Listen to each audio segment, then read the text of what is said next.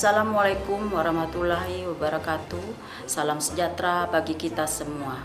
Om Swastiastu, Namo Buddhaya.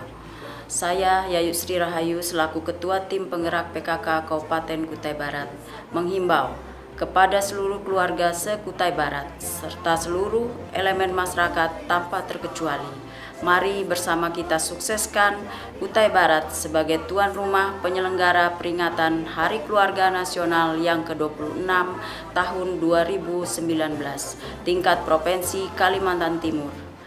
Mari hadirin dan ikuti seluruh rangkaian acara yang akan berlangsung dari tanggal 15 sampai 18 Juli 2019 bertempat di alun-alun Ito dan Taman Budaya Sendawar.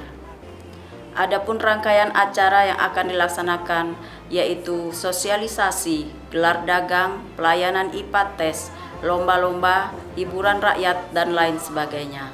Mari turut serta mengambil bagian untuk mensukseskan seluruh rangkaian acara peringatan Hari Keluarga Nasional yang ke-26 tahun 2019 tingkat Provinsi Kalimantan Timur. Hari keluarga adalah hari kita semua. Cinta keluarga, cinta terencana. Wassalamualaikum warahmatullahi wabarakatuh.